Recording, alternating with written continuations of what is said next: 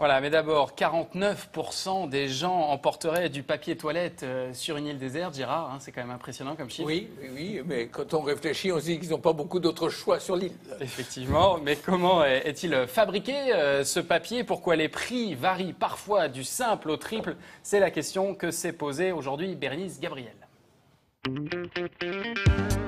Le papier toilette, on l'utilise tous les jours. Depuis quelques années, il est plus qu'un simple produit hygiénique, il est tendance. Et ça, grâce à cet homme, le Karl Lagerfeld du papier toilette, de nationalité portugaise. Son idée, lui donner de la couleur. Pourquoi avoir des produits tristes, blancs, roses je travaille dans cette industrie depuis plus d'une trentaine d'années.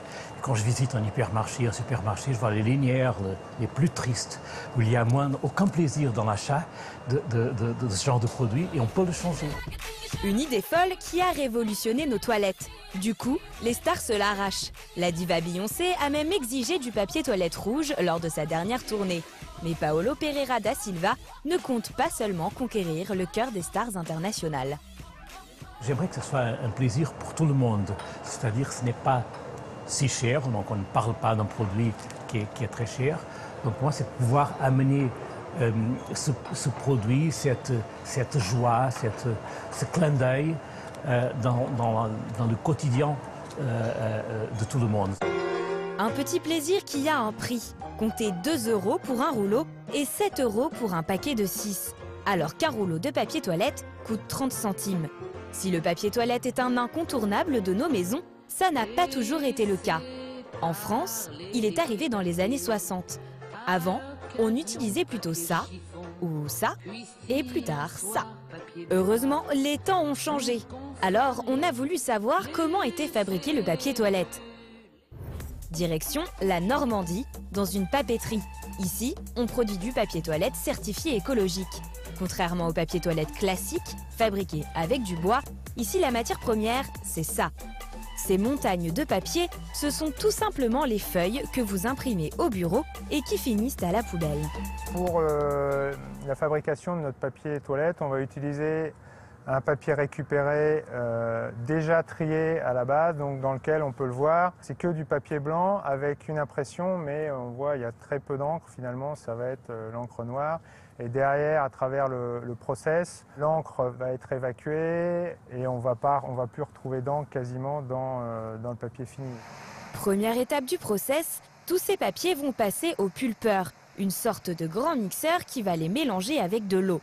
On va obtenir cette pâte qui va ensuite être séché pour donner un papier fin et souple, celui du papier toilette. On va enlever l'eau en trois étapes. La première étape, ça va être l'égouttage, où l'eau va passer à travers une toile. La deuxième étape, on va la presser, comme un peu un essorage. Et la troisième étape, on va la sécher grâce à de la vapeur. Ça va donner une première couche de papier toilette. Mais ici, on fait du double épaisseur et c'est très simple. Il suffit de superposer les couches grâce à cette rembobineuse. Voilà à quoi ressemble le papier toilette double épaisseur. Sauf que là, il fait 2,20 m de hauteur. Alors, pour atteindre sa taille standard, la bobine va être déroulée, enroulée sur un mandrin, découpée en petits rouleaux et conditionnée par pack de 6. Mais vous l'avez remarqué, dans les rayons, les prix ne sont pas les mêmes suivant les marques. Alors, comment est déterminé le prix d'un rouleau de papier toilette? Le prix euh, d'un rouleau de papier toilette dépend avant tout de la quantité de papier qu'il va y avoir dans le rouleau de papier toilette. Et le prix du papier, ça va être premièrement la matière première, ensuite l'énergie et la main-d'œuvre. Mais le nombre de feuilles par rouleau n'est pas forcément indiqué sur l'emballage. Et parfois, les industriels vous vendent moins de feuilles sans pour autant que l'apparence du rouleau change. Emmanuel a une petite astuce pour vous éviter d'acheter du vent. Donc si on prend deux rouleaux par exemple, on va avoir un rouleau où il y a beaucoup d'air dedans, donc si on appuie, on se rend compte finalement il n'y a pas tant de papier que ça, il est plus léger.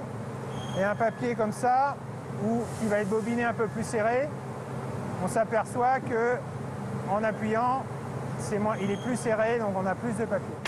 Mais encore faut-il prendre le temps de choisir son papier toilette dans les rayons des supermarchés. car ce n'est pas vraiment l'endroit où l'on aime s'attarder. Sachez que vous y passez 14 secondes en moyenne.